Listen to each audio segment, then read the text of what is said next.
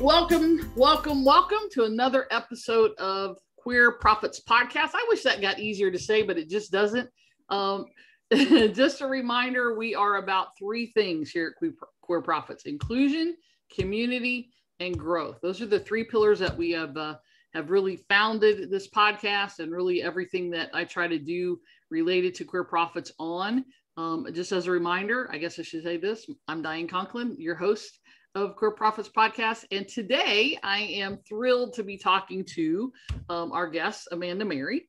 And Amanda, we are um, just going to let you, we're just going to jump right in here and let you tell them who you are and what you do. And then we'll jump into some Q&A.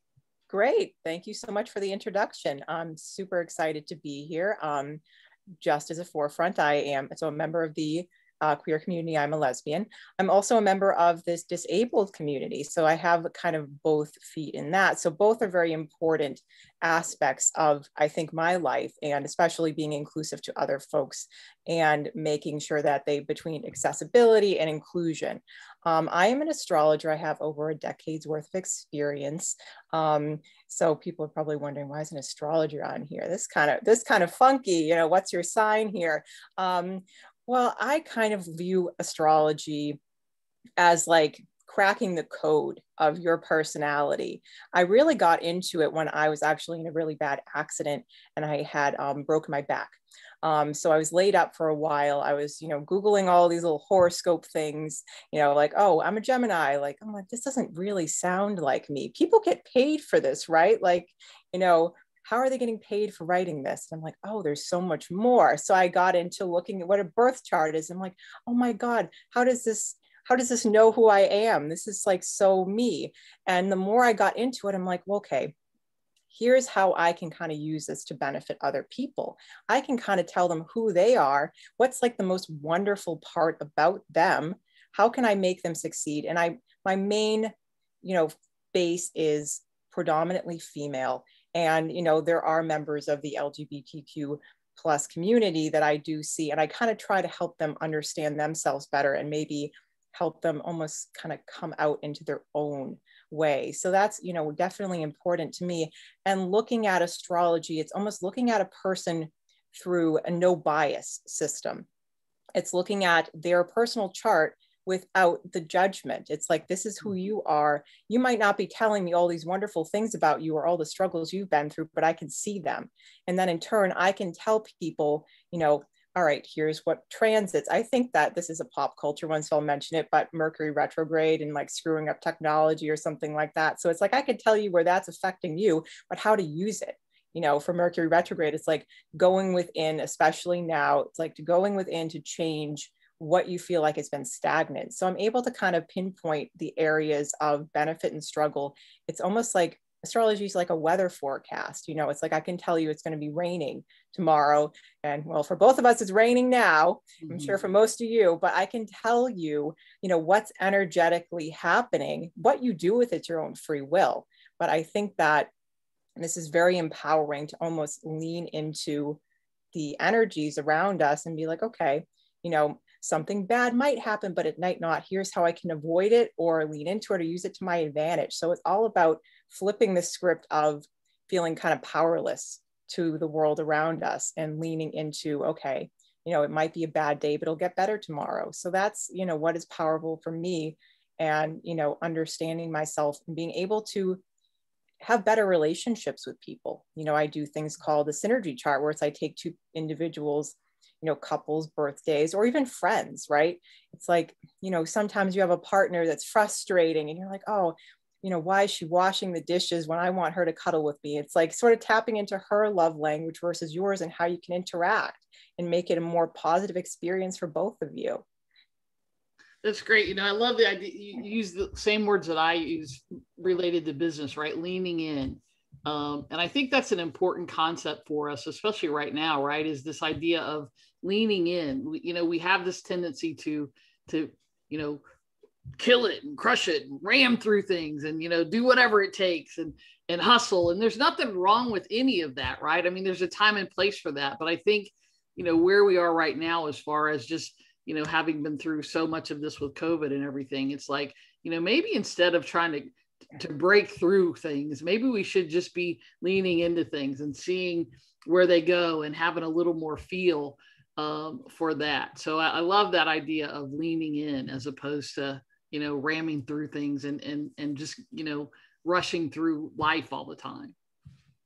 Yeah, exactly. I mean, I'm just going to say that's a very airy, a very airy and qual. The ramming through things combatively moving forward, and you know, I think too, there is a lot to be said with that as far as like the U.S. and its political system, its structures. Not to get too deep into politics, but there's the astrological relationship between really what's happening now, what's happening in our community, what's happening as far as acceptance, and what's going on in astrology so I think, you know, another sort of common Facebook thing, we're, even though we had the song, The Age in Aquarius, in technicality, most astrologers don't believe it truly started. We were previously in Pisces and now we're in Aquarius, or and it shifted probably on December 20th, 2020. So that was what's called like the great mutation. So what that means is all the signs, all the planets are now in air. Aquarius actually is in astrology and the system has evolved. Some of the language is still, it's, it's ancient. So some of it's going to sound, and I try to make it more inclusive and more, eh, less gendered sounding too, because there's that portion. But basically Aquarius is the underdog planet. It's the person that doesn't quite fit in or it stands out. And we tend to ostracize or alienate them oftentimes like the you know lgbtq community there's this disconnect between us and people that you know don't understand us so shifting from the energy of like stagnancy earth like we're all about money and finances we aquarius is humanitarian and it's almost like the indicator of being queer it's like you don't quite fit in but you are so ahead of your time in a lot of ways so we're sort of shifting energetically into that as far as the community sense. So people are starting to actually view us, I want to, I dare I say, as humans, like as equals. Like we're kind of coming into this, we all are one person, one entity, you know, one humanity. No one's just sticking out. So we're kind of migrating and integrating that. So astrology is almost telling us there's really hope for us and being understood. And everybody has something unique about them or might be different. So I think people can start to empathize with our community and understand that we are humans too, you know, and we need to actually be treated as such. You know, not we're not aliens. You know, we're not like coming from a. I mean, hey, who knows? Maybe they're aliens on this planet now, but that's another show. Yeah, it's funny because one of my really good friends and I often say to each other, you know, we are aliens. We just talk about how you know different we are and and how we think differently, and so it's funny that that you mentioned that. So uh, I want to let I want to sort of loop back because one of the things that you said a few minutes ago was this whole idea of, you know, that using astrology almost gives us this ability to be non-biased and non-judgmental. So can you can you expand on that just a little bit because I found that intriguing when you said it. Yeah, no, absolutely. So when I do readings, I basically put all of your information into my computer system. I pull up this chart with a bunch of crazy lines, and it looks like you're like, what the heck is this? You know, Google an astrology chart after this. You're going to see what I mean about crazy lines and everything else like that. But basically, I'm looking at this chart. I'm able to see your traumas, how you overcame them, your strengths, what you like to do for fun. I can see so much about the person but I'm not even really, it's like you could just sit there and I could read your chart to you without any judgment because I don't know you, but I know you. So it's almost like I got the code. It's like, this is all the wonderful things. It's like, I'm not going by anything you say to me. I'm not going by anything you're doing. Like you're, you know, maybe body language plays a role in how we read, but it's not, the chart is just there. It's like definitively you.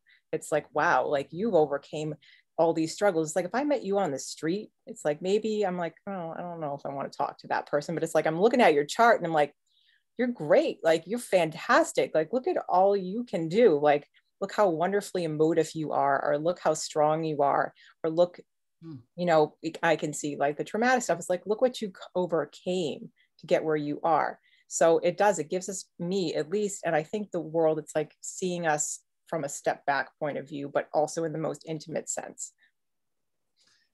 No, that's i find it interesting because we talk about you know marginalized communities and certainly the lgbt community is you know as well as, as certainly as well as disabled and so many other things. And so you know to think that you've got this tool if you will you know where you can take a marginalized community and put them on sort of an even level and an even keel with you know with everyone sort of thing is is a, is a is would be a unique place to be in the world certainly a, a, on an everyday basis oh definitely and i kind of say to my friends and the ones that i've done their chart or i've converted over to my side of um, getting your chart read or getting your chart done or me letting have your birth information um, is that I wish everybody walked around with a birth chart so I could treat you in the best possible way that nurtures you. And it is very important for our community to be understood as like individual humans as well as a collective because it does i know when people relate like pride and that the antics that go on there it's like that's all your community is about and people kind of throw that in our face i think oftentimes. It's like you're a bunch of party animals. Hey maybe we like to party. Maybe we're more fun. How about that? But basically you know astrology for me is a way of seeing even trying to relate to people that might not understand me, you know, in our community. Or you know, I've talked to people and done charts. They have no idea I'm, I'm a lesbian. You know, if you can see me, I, I don't technically look a certain way that you would immediately identify me. Like, you know, if we're truly thinking about it in those terms, which is silly.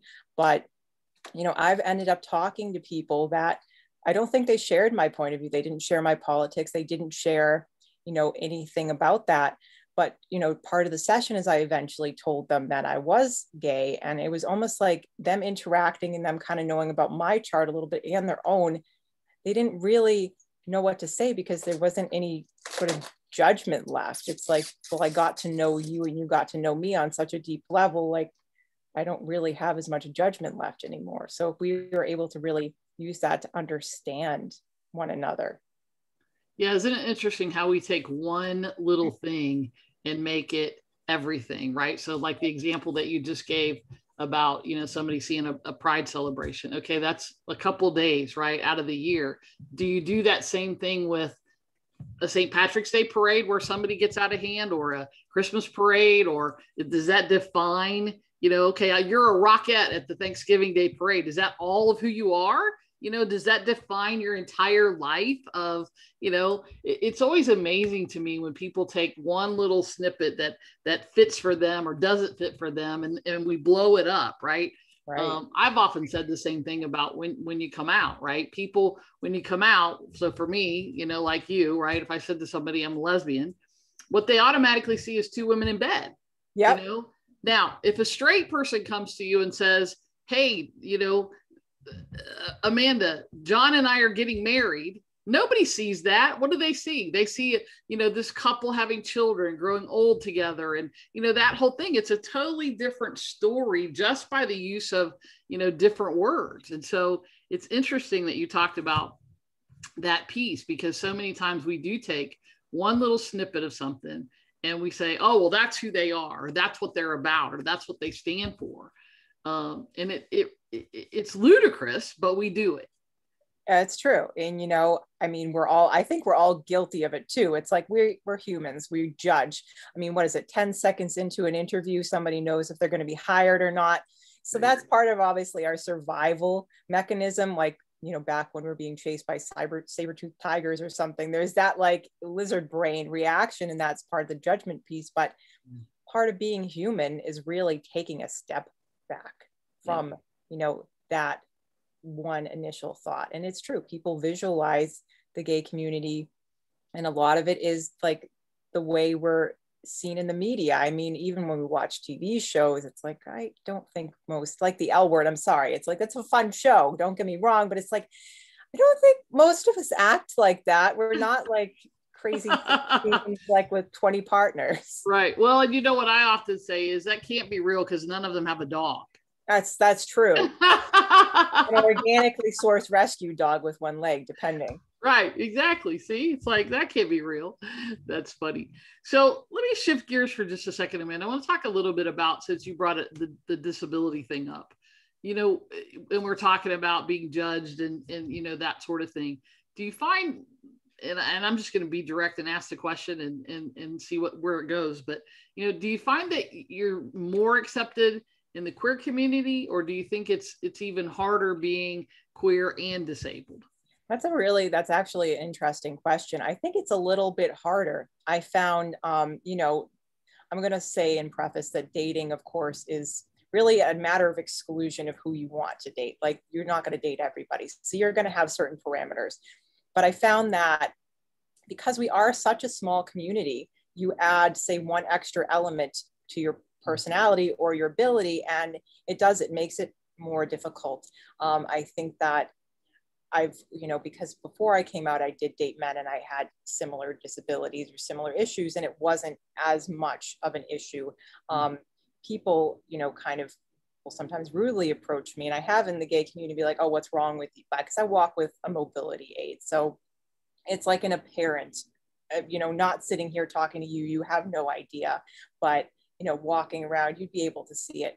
You know, people asking kind of rude questions, or I think it's hard to kind of merge the two sometimes. I found it a little difficult. And, you know, some people really just directly saying, I don't, frankly, I don't have any interest in dating a disabled person. So I've had more backlash, surprisingly, in that community and also accessibility to like pride events. So this is kind of, I know you we were talking before the show about like what can be changed accessibility to pride events there isn't any you know if you have a wheelchair if you have a you know have any sort of ability you know that is challenged you're not going to be able to make these you know you're going to have to wait in line for the bathroom you're going to you know things that really take this to a level where you're kind of being excluded with own in your own community i get it's a party but it's also really a celebration of our community. And I think that access, like wheelchair ramps, things like that, even if they're pop-up ramps, are they should be included. It's very difficult getting around and navigating, especially pride events. Hmm. You know, it's it's interesting on, on a couple levels. One is I think I think because we think many times of the community as this young, hip, you know, fit, you know, especially uh, you know, kind of population we probably don't think as much about some of those other things. And I think that, you know, back in back in the 80s, right, when a lot of when, when the AIDS crisis was happening, we were probably, and again, I'm just I'm just thinking out loud here, but my guess is we were a little bit more aware because there were you know more men that were having issues getting around and still attending events and and maybe because that's gone away um, a little bit certainly hiv hasn't but um, you know, we certainly are, thank goodness, we're not losing people as uh, nearly as rapidly, you know, as we were. But you know, maybe that's part of it. Maybe you know, because that's gone away, it's it's not thought about um, as much. But certainly, you know, if if we want to be inclusive, and and that's certainly one of the things that that that you know that I'm about, and certainly that I want to want to talk about and and make a difference in. If we want to be inclusive, inclusion inclusion has a bigger definition than just the LGBT community than just the color of your skin, than just, you know, male or female, you know, gender identity, all of those different things. And certainly disability is something that we as a community certainly need to be, I think, aware of. And based on your experience, certainly more aware of. No, I definitely agree. And that's a good, interesting point about the, the AIDS epidemic is that, yeah, I think people, it, because it's managed basically it can't be cured because it's managed and people are more aware of how it spreads you know the fear and also kind of you know we had almost the, the i think the support at a certain point not certainly at first of the straight community saying well straight people get hiv too so you know that almost not normalized it but did it integrated it True. so i think the information piece so you know getting the information out to people in the lgbt plus community that you know, there are folks that are disabled that want to participate in some of the things that you are doing, you know, whether it's rallies or, you know, it's pride parade and, you know, maybe a little tiny thing. That's the thing. It's like these can just be little tiny steps, like a pop-up ramp, or it's like make people feel welcome because we know how it feels to not be welcome in spaces. So is it something I resent the community for? Absolutely not. But I think it's very important you know standpoint is that we need to be aware of that. We have biases too. That's the thing. We're humans too. You know they're good and bad humans. They're 50 shades of gray humans you know. It's you know, we have our shortcomings. Yeah. Well, and I think in a lot of ways, and I'm talking about this with, with some other guests, is you know we have a tendency inside the community as much as we talk about we want it we want inclusion and we want to be accepted and all that we have a tendency to be quirky. We have a tendency to be you know uh, you know to for us that we hang out with people like us not just in the gay community but certainly everywhere right? I mean pick the religion you know those people hang out together pe- pe- people of color people of a different um, you know ethnicity. We have a tendency to go and and hang in groups where we, people who are like us, people who look like us, people who think like us, people who it doesn't make for a lot of uh, exciting or interesting or uh, conversations, right? If you want to have a conversation and, and not an argument, but uh, but we tend we flock toward that, and I think I think that has probably some to do with it. Um, you know, and it's it's interesting that we're we're talking about the disability with the dating thing because um, you know, I've seen several posts lately on Facebook, not in dating sites, but certainly on on lesbian sites, where people have talked about things like, you know, a woman's weight or uh, you know, a, a interracial relationship or whatever. And it's it's always interesting to me these these judgments that people make one way or the other, right? Not necessarily good or bad, not necessarily pro or against one, but it's very interesting to me um, the conversations that come up when again we want to talk about being inclusive we want to talk about increasing diversity and yet do we live that in our own community that's a good point. And it's the thing too about these i know the groups you're talking about too i'm members of them as well and i'm always a lurker. I like reading the comments of the things. I rarely comment but i'm definitely a lurker.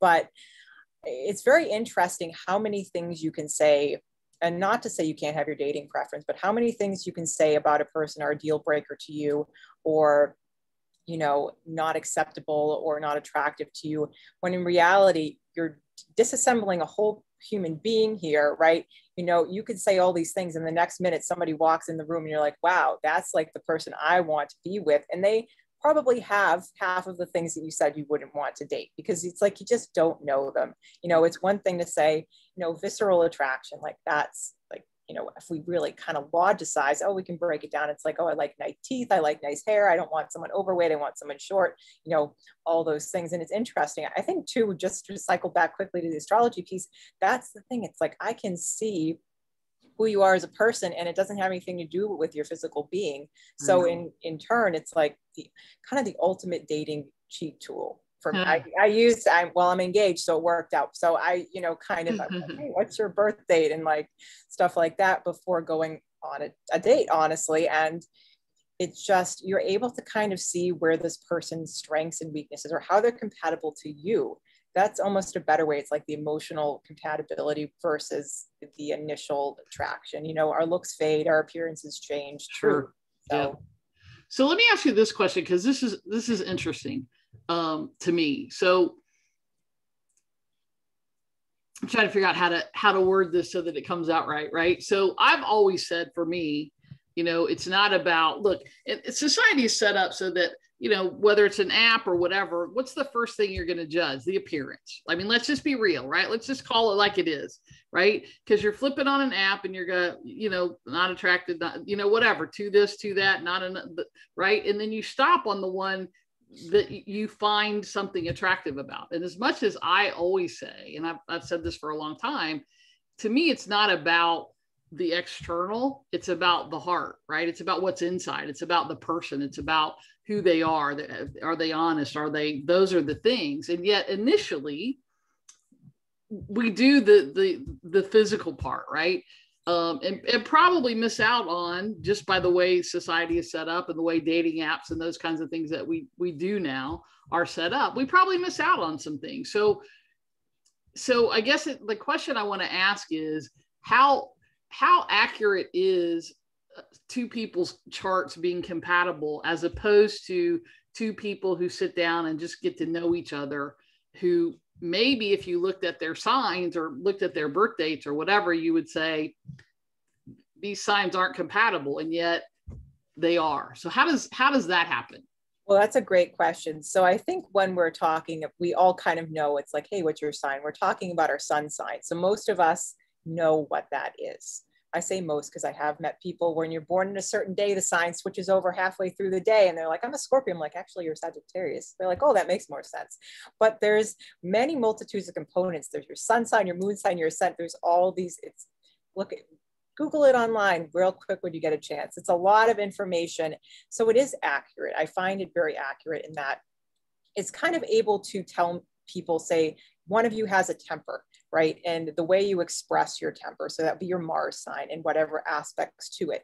So say one of you has a Mars in Cancer, which can be kind of passive aggressive when it's angry and it plays out in their career, right? Like, so say their midheaven is their career. That's where it plays out. So if they get triggered, they're going to be very passive aggressive, right? So say that person partners with somebody that has a Mars in Aries and it's in their first house, which is how you appear to other people. So it's like your partner's being super passive aggressive to you, and you're like, can't you just tell me what's wrong? And you're pushing because you're Mars and Aries and you're just aggressive, you're fiery. So it's almost like, okay, we have the compatibility elements here. Everyone's compatible to varying degrees for purposes. Like some are friends, some are romantic partnerships, some really are soulmates. There are different levels of relationships, but it's able to tell us it's like, okay, I'm the Mars and Aries person. Maybe I should take a step back when I don't push her so hard all the time to tell me why she's angry. And maybe the Mars and Cancer person is like, okay, maybe I should actually speak when I'm angry and not you know, directly and not be so passive aggressive about things, you know, taking and dialing it back. So it's almost like it's a moderator, I think, of relationships. It's mm-hmm. more than just the sun sign. And I would never say if two people came to me and said, I'm my compatibles, I'm not going to say you're not. I'm just going to say, how can we work together to have a better relationship? Because some people are like, I don't understand this person now. It's like, we had that physical attraction you know we have the emotional attraction but it's like something we're just like two ships passing the night like we're not getting it. So astrology can kind of help shed light. It's like oh well that's why she's doing that and maybe this is why i want to react in a different more positive way. So you so what i hear you saying is yeah you could you could theoretically say yeah you two are probably a match or you're not a match or whatever but you could also use it then to say you know, hey, we're having this issue or whatever. And then you could look at it and say, well, of course you're having this issue because you do this and you do that. And so it, it might, in fact, help people come to some semblance of togetherness that could potentially help the relationship if there were issues or challenges or things that, you know, that, that they felt weren't working. No, absolutely. That's one of the my favorite uses for it because I do people come to me. It's like, oh, am I compatible with this person? It's like in certain areas, yes, in certain areas, no. But that's too. It's like then the free will kicks. And I always say, I'm all about the free will, right? I could tell you, you know what, Jupiter is really positive for you today. You should go buy a lottery ticket. You'll probably win something. I don't know the amount, but if you never buy the lottery ticket, then you're never going to win the lottery. So that actually comes into it. It's like, well, what do you expect me to tell you if you never right right. Able to really kind of tell like okay what are your deal breakers too? It's like can you deal with somebody that's passive aggressive? Like that's how they express their emotions. I can preemptively tell you these are the things is that something you can deal with? Like are you able to handle it? Are you able to grow from it? So i think that's the element of the compatibility initially if you're not you know already coupled with somebody. Very interesting. Yeah it's interesting. I'm actually so you know i'm i kind of dabble in you know i know i'm a leo and you know some different things. And so uh, you know as i was starting to date and do some different things a while back i i popped in at some different things and i'm like hmm i like this person. Yet everything i'm reading says that because their sign is xyz you know we're not compatible. And yet you know it's, it's just funny you know because you know my thing ultimately is yeah you know maybe not. But if if all of those things are there then you either work things out or you don't right? I mean exactly. um, especially you know as as adults who are 40 plus it's like wait a minute you, you know you talk about you talked a minute ago about you know the choices being smaller as a disabled person. I feel the same way as i've gotten older. I'm like you know wow okay wasn't quite supposed to be here in my life but it's all good it's all good. So, and I would say don't write. Uh, that's what you said. You're, which makes sense with the hair. You're definitely a Leo. You have a great personality. I like Leos. Most of my friends are Leos, but um, my hair tells you I'm a Leo. Yeah, because it's very like mane like. It has that like Leos do always, there's always something with the hair. It's like either they're touching it a lot or they're like have the quite the hairdo and it, has like that mane like appearance. It's great head of hair. So I, you know, Leo rules like hair, which is interesting. Signs can rule body parts. But um, besides that, when I'd say never write somebody off uh, based on their sun sign because there's the whole rest of their chart. There's way more than that. It's like, I don't know, say Gemini and Taurus don't go well together. Well, I'm going to marry a Taurus and I'm Gemini, but it, that's just not true because there's other elements of our compatibility. Right. So people looking at like Google, it's like, okay, well, I don't like Pisces. Like, no, you don't not like Pisces. Like also we, I want to say as far as inclusivity, every person's chart has every sign in it to varying degrees. Mm. So hmm. you're really everything. You're all interconnected to the universe, each other. Everybody has certain elements always, like you have everything in you. That's interesting. And I, I never heard anybody, I never heard anybody talk about it like that from that perspective. So um, that's interesting. um, good, good. So, I mean, let's, let's, shift gears again. Tell me, um, tell me best business advice that either you've ever gotten or that you'd like for people to sort of, or best advice, you know, sort of in general that you'd like to share today. Yeah, no, absolutely. Um, well, honestly, I think the best business advice I've ever gotten was from a friend of mine. This, for some reason, it always sticks in my mind when I'm doing stuff. I'm like, there are other people doing similar stuff. I'm like, but you know, what am I doing wrong? Or like getting in that negative self talk. So, what she said to me is that, you know what, you're your own island. If people like what they see on your island, they're going to swim over to your island and they're going to you know occupy so that goes for businesses services that you there could be a it's like there could be a million hairdressers there could be a million tarot card readers a million you know tax accountants but it's like what is it about you that you do that's so specific that people are drawn to you? There are always going to be people that are drawn to you. Just have that confidence that you are unique in your own right. Yeah, you know, I love that because it's, you know, we spend, I think sometimes we spend too much time on what makes me different, what makes me unique, what makes me whatever, right? Because you can't help but be unique, right? Um, I often laugh with my clients. It's like, you know, I, I tell them point blank, look, I'm not, I'm not for everybody, right? If you don't like the direct kind of, not in your face, but the direct to the point, here's what you need. Here's, you know, if you're not somebody who, who deals well with that, then I'm not your person um, and I'm okay with that, right? Because that's that's you know I ha- I certainly have a soft side. I certainly can do the compassion and all of that, but from a business perspective, you know, I'm like, let's get this done. Let's move on. Let's you know, let's let's make this thing work.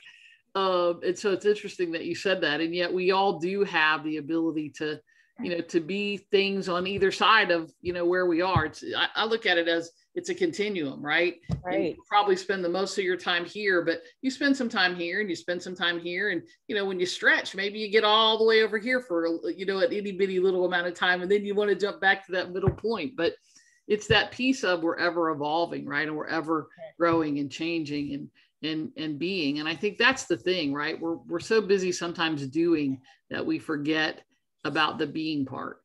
No that's it's very true. And you know what? Just yeah being ourselves and knowing that's enough that people are going to resonate with us that people are going to you know find something about us or they're not going to like. But that's the thing. It's like we can't control other people. As much as we want to we try to control the world as humans like our own little universe you can't control how other people are going to react to you but you can control how you react you know, and being on that continuum and sort of tapping into certain aspects of yourself and realizing what you need to work on is, you know, I think that's a major point of growth. And I think, you know, as you said, sometimes you're stretching, sometimes you're not, you know, sometimes it's a push. It's like, and I always kind of say too, it's like, if something feels uncomfortable and you're probably like, as far as business, then you're probably going in the right direction. If people are kind of like telling you no, then honestly, I'd say kind of keep going with it.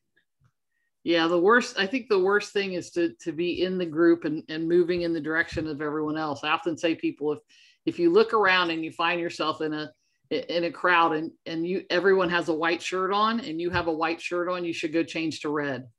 Um right because you, you know are you a leader or are you a follower you're right if you have the white shirt on like everyone else no one notices you but if you have a red shirt on everybody's going to notice you um you know it's the same thing if everybody's walking east turn around and walk west. Exactly. Exactly. Right. Yes. You're going to irritate some people because you're in the way and you're going the wrong the quote wrong way, but you're also going to get noticed um, because you're doing something different, right? And I, and I think it's that piece of, um, and I think especially in the queer community, we have a tendency sometimes. I think we go against the grain so much that sometimes it's like I just want to blend in. I just want to, you know, I just want to be one of the many instead of, you know, instead of that that person that is standing out. So, um, what do you think? So we talked briefly a little bit ago about the whole, you know, one of the issues that you see needing more attention in the community is the whole, you know, issue of being more open to the, the disability and, and aware of that at our events. Is there anything else that that sort of sticks out that you think is an issue or something that is a challenge in our community that that's that's coming up that maybe we either aren't aware of or that we need to you know spend more time dealing with? Yeah, no, that's a good question. Well, I think I won't get into politics, but hopefully things wherever you stand, I'm going to say I think energetically, even in astrology, things are moving in a more you know accepting route, you know, regardless around the world. Um, actually, that's sort of what I wanted to mention is around the world is that there are still many, and you know, we can't change other countries' policies, but I just want to shed light that there are, because I specifically have clients that live in Singapore and you know mm-hmm. they're hiding their relationship they're you know they're two women living together they have you know jobs and medical facilities and you know, it's not legal, I think, as far as I know, to get married there, but it's also kind of hidden that they can still lose their job for coming out. So they live in fear. And I spent the whole session with this woman asking me about her husband. And at the end, she's like, I have to tell you something. I'm like, what? She's like, I it's my wife. I'm like, oh, well, good. I'm glad you told me that because I'm a lesbian too. Like, and I'm getting married soon.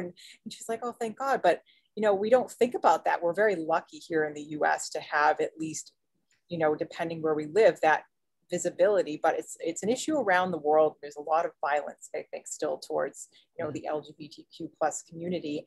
And maybe sometimes we're a little hyper focused on our own little bubble. It's like we're accepted and we're okay for the most part, but maybe we need to start thinking about how can we you know, even offer, even if it's a virtual community or support groups or something for people in other countries, if they're able to, to have that sense of community. That's sort of something that has been sticking in my mind ever since I had that really that conversation with her is how lucky we are, but versus where's the support for those people in other countries that have no access to a community. Yeah, and you know, not to play devil's advocate, but it, what's interesting too, I think, is, and I've thought about this a lot, you know, we, if we live in cities, right? I live in Atlanta and here I don't think much about it, right? Because we have a, a pretty large queer community. We've got out Georgia, which used to be the Atlanta Gay and Lesbian Chamber. Um, you know, we've got all these things. We look at major cities, right, which is where we think of, you know, queer people kind of being. Um, but then I grew up, you know, in rural Ohio on a 75 acre farm. And I think about you know what do kids do that are in those environments in rural parts of the country in parts of the country where they don't have a lot of role models or there's not a community center or you know where do they go for support? And certainly you know i'm not i'm not poo-pooing the fact that in other countries they they they certainly have challenges because you know we've got you can turn on the tv now and like when i was a kid and see gay people right. Um which was like, you know, I mean, I remember when Ellen came out, it was the big major controversy, right? And she lost the show and all of those things. Now it's it's sort of more like, yeah, whatever. Why are you telling me this? You know, people are like, you know, it is what it is. But but I think I think you're right. I think certainly other countries as well as just don't want to lose fact that uh, lose sight of the fact that there are still plenty of, of places here where people are still struggling with that very thing. And you know, you can change laws all you want, but when you can't change what's in people's hearts. No it's true. I'm i'm you know glad you brought that up as well because that's something you know i over i didn't quite overlook it. I think when i said it i overlooked it. But um you know somebody too i'll throw myself out here is that you know i grew up in a very religious family almost cult like to be honest. Um, i wasn't really allowed to interact with even other people. So mm-hmm. you know and gayness was or queerness in general was like I will kill you if you ever are. You know, the level of like, you know, honestly abuse and violence that I experienced in part relating to that, you know, put a lot of fear into me. And I know that I'm not the only person that has that experience or had that. Mm-hmm. And, you know, I'm sure it, it kind of continues because we can, yeah, as you said, say anything we want to on TV and make it look like one big happy, like, woohoo, like everything is fine and everyone's equal. Well, no, it's not. And it does depend upon your environment like your family's culture, like your town's culture. It's like, how do they view you? you know how isolated are you at you know thank god for the internet now for a lot of people they're able to see that there's maybe light at the other end of the tunnel or talk to people yeah. you know in those communities but it i i can understand and empathize that yeah no we have a lot of work to do as far as that you know support and you know it's interesting i just read an article this morning um, on facebook of a girl who on a school bus i can't remember now what state it was in on a school bus said to another kid that she was a lesbian. And she's now off the bus. She was written up and is now off the bus and the school is potentially going to expel her because you said i'm a lesbian. It's like would you have if she had said i, I like that little boy no one would have thought anything you know here we are. I mean it's 2021 and those things are still happening. So um, it's it's kind of amazing when you think about you know how far we've come and yet how far we still have to go. So right. No it's it's it's a sobering it's a sobering thought and you know yeah. kind of because we're both really in more accept but it's at the same time i mean in reality i live in a very safe area. I have access to you know i have a community that you know queer folks and et cetera and so on you know disabled people as well but I don't necessarily always feel comfortable even wanting to touch my partner on the shoulder or get too close to her in a grocery store or depending what, you know, I'm trying to always assess the situation. There's always, I think, that underlying fear sure. that we carry. So it's always there. It's that, you know, well, I feel safe, but what? You know, even the looks, like those hurt, you know, those hurt, they can't, they won't kill us. They're just like saying things behind our back, but that can always escalate. It depends on where you are to violence. So it's, but there is that always an underlying like, what if something yeah. happens? Because yeah, you definitely have to be. Yeah. Definitely have to be on on alert. That's for sure. So, Amanda, tell everybody um, how they can get in touch with you, where they can find you if they're interested in uh, either having a reading or just finding out more information about you yeah because i do a lot of video they can watch free videos i do a lot of stuff like that i do workshops actually one i'm going to do that might be of interest to um, your community here is that i'm doing money manifesting and the midheaven. So talking about your career in astrology and how you can get the best out of it and you know what's affecting that how what's blocking you what's you know holding you back how can we move forward? Um, if people want to check me out or you know watch videos uh, even get in contact me feel free to ask questions in general to learn more about astrology. I am astrology by amanda on facebook. That's my main where i mainly operate my business or if they want to also reach out to me. I am a the in-house astrologer for quantumshift.us. So that is a spiritual community that incorporates holistic practitioners, um, astrologers as well, readers, um, people that are very health-based and focused, also business-based and manifesting what you want as far as business. So I recommend that platform as well. They can reach out to me there too. Perfect. Very good. Very good. Well, this has been, um, this has just been, I, I love that we talked about so many different things and related to and, and somehow managed to always to, to, to bring those things back into what you do. So I love that. So thank you very much for, for sharing and for your time. Um, just as a reminder, again, uh, go check Amanda out if you have an interest in the, in the, in, in seeing more about what she does and maybe having a reading, definitely get in touch. Um, just as a reminder, I'm Diane Conklin, and you have been listening to the Queer Profits podcast. If you are interested in checking out the uh, free report that I have for you, which is always available to you on Queer Profits, three ways to grow your business fast, to get more clients and make more money, just go to queerprofits.com. And um, I'm excited to see you the next time on the Queer Profits podcast, where again, we stand for our three pillars inclusion, community, and growth. Until next time, make it a great day.